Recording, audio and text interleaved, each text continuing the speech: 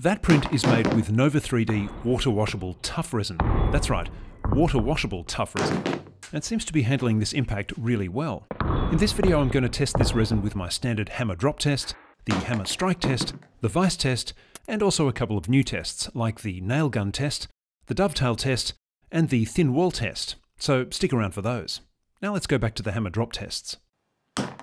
When I started resin printing a couple of years ago, my understanding was that tough resins needed IPA washing. And since I wanted to design functional parts that needed to be durable, I decided I'd have to make the switch to IPA. And that really is the main reason why I switched from water washing to IPA washing. In fact, I made a video about it last year. But times change and resins have been rapidly developing over the last couple of years. So when Nova 3D saw all the resins I'd been testing, they reached out and asked if I'd be willing to try their water washable tough resin. So a disclosure, Nova 3D did send me this resin for free, but they didn't ask to see this video before it was published. So all these tests and opinions are my own. Oh, and by the way, the label says clear, uh, but it's actually grey, which is why I've had to put my own label up here. Yeah. Look, I had my doubts. Surely a water washable resin meant some sort of trade-off. But as you can see from these hammer drop tests, this resin is performing very well. This is water washable resin. I didn't think this was possible. I'm just dropping this 1.5 kilo hammer onto the part with its own weight. The part has a wall thickness of 3 millimeters, and I designed it to replace the original dust extraction fitting in this Festool track saw. So it needs to be durable and capable of withstanding knocks in the workshop while I'm working with the saw. And you can see that with successive hammer drops, this print still resists the impacts really well. That just looks really good. Okay, so we've got some scuff marks. Uh, and that's to be expected, I suppose. But uh, this resin is holding up very well. Well, what can I say? Nova 3D, well done. That's excellent. It really is excellent. Wouldn't it be great if this was available in a range of colours? Like really nice colours. When doing this test, I do about 10 hammer drops and then switch over to the hammer strike. That's where I just add a little bit more force to see how likely it is to break. So now we're up for the hammer strike test, the hammer strike test. Here we go. So that was number one, and that was fairly gentle. That was number two, and that was a little bit harder. Keep in mind that this thing has already been belted a number of times.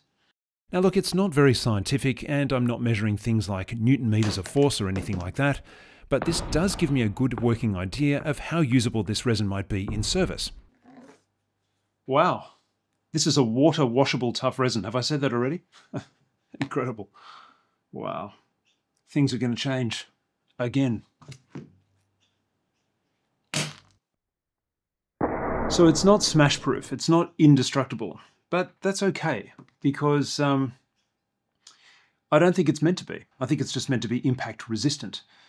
And uh, I think if it can be this good under this much pressure for this particular application, well, I I think it's amazing. Yeah, I totally endorse it. it's incredible. So thank you, Nova 3D. One of the uh, one of the only problems with this resin is that um, I've used most of it up in my testing, uh, which means I don't really have much left. Might have to buy some. and now for the vice test. I am expecting this to break, of course, but I'm curious to see how. Some resins bend all the way without cracking until they are totally compressed. Others can shatter apart much earlier. With this Nova 3D resin, it does crack and break as expected, but I'd say that there's quite a bit of good flexibility here before failure. I reckon that's a satisfactory result for the vice test. It's not too soft and it's not too brittle. So what about accuracy and print quality? Well, for this part that I'm testing, I'd have to say that the print quality is excellent. The detail is beautifully rendered, and I really like the deep grey colour. As far as I can tell, this is up there with the other high quality tough resins like the Ameralabs TGM7, which I've also tested. And remember, the detail that I'm looking for is smooth, clean surfaces and sharp lines and corners. And to test accuracy, I've added what I'm calling the dovetail test. This allows me to test for those sharp edges with well-defined corners. But why would I want to 3D print wood joints and then stick them onto timber? Well, that's kind of weird. Well, that's for another project I'm working on, which I'll talk about in another video.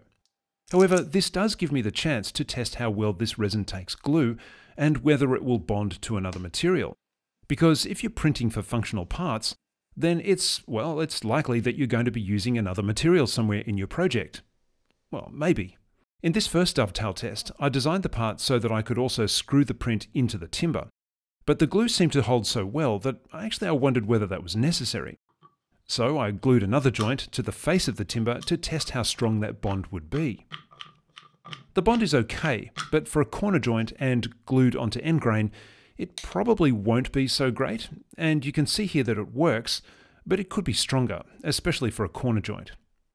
So I put the screws back in, and note that this is after the glue had dried. Now you would typically put the screws in as the glue is drying, but hey, this is experimental, so yeah. The next step was to glue the joint and then let it dry overnight, and give it a sand and then stress test it. Now sanding is something you would normally do to a dovetailed woodworking project to help even out all those tiny little edges. But you don't want to rely on sanding to fix the job because then you start to lose that nice squareness that the dovetails offer. In this example you can't really see the shape of the dovetails because both sides are grey with no contrast, like end grain contrasts with the face of timber. But you could achieve that with different coloured resins. And here it is. I reckon that looks pretty good actually. So we've left it overnight and the joint is glued up nicely. I think that's turned out really well actually. It's square, well square enough I would say. That looks pretty good. Now let's just see whether the resin holds up to a bit of pressure. Oh okay, here we go. Now how is this actually breaking? Is it the resin? That's just the glue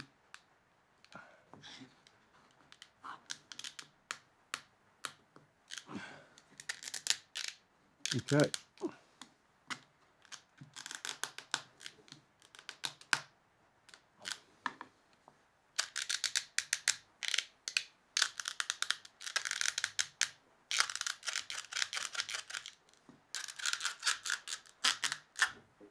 All right.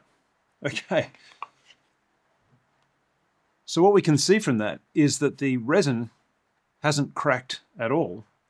And in fact, it was just the glue that was coming apart from the resin. So you can see here that wood glue doesn't stick to this resin particularly well. And look, that's not surprising. It's wood glue, it's not resin glue. So maybe an epoxy would have been better. But then again, if you're going to go to an epoxy, you probably wouldn't be making a project like this. Maybe? I don't know. Well, I wouldn't. But I think that looks pretty good. But you know what? I'm not really that satisfied. Can I actually break it? Let's try that. So here we have the dovetail pins screwed into a piece of timber and it's also glued.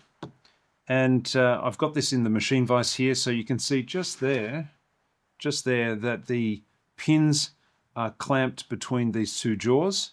There's a little gap there so you can see they are actually being clamped. Now let's see how much pressure this can take. How am I going to break this? What if I just... Okay, so now we've got a breakage just through here. You see that just there? So now we're actually starting to see the resin break. But still, for this particular application, I think that's pretty good. I'm pretty happy with that. And the other thing is, it doesn't shatter it just kind of slowly bends and then fails. Seems kind of a shame to um, have messed that up. It was a good demo. Anyway, you can always print up another one. But what if you don't want to do complex joints and you just want to nail it? Well, let's see how it handles a nail gun. Uh, well, not that great actually. What about a simple nail? Okay, this one is a heavier gauge, and I'm hitting it quite hard and you can see that the resin takes quite a pounding, uh, but then ultimately breaks. So it can't really be nailed. The last test I want to do is to test how this resin works for thin-walled projects. The previous one had a wall thickness of 3mm, uh, this one is 1mm. This is a water-powered rocket, which I have made and flown before with some success, but I was using a hand pump to create the pressure needed to blow the cork out of the rocket. This time I'm going to test for toughness, as in will the fins of the rocket break off, and I'm going to do a kind of pressure test. Instead of just using a push fit with the cork, I'm also going to add a tiny amount of silicone. Uh, the aim here is to see how much pressure I can build up before the cork blows out or the rocket bursts apart.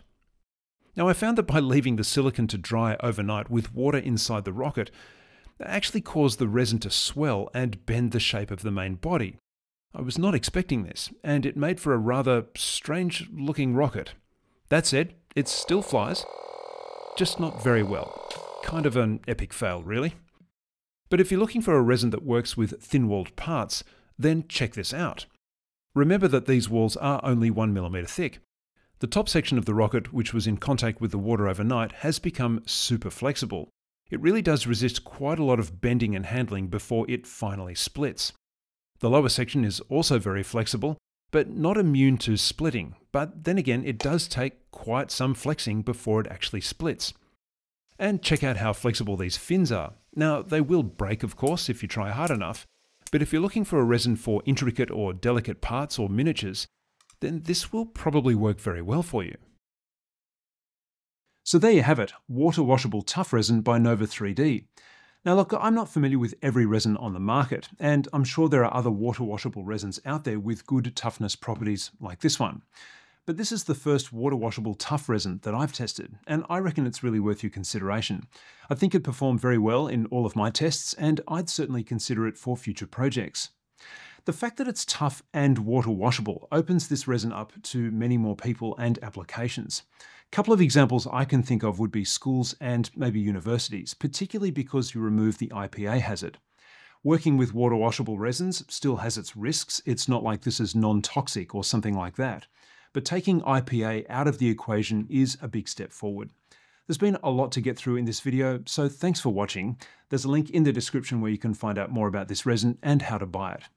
If these tests have been helpful for deciding whether this could be a resin for you, then like, comment, and consider subscribing. Thanks again so much for watching, and we'll see you next time.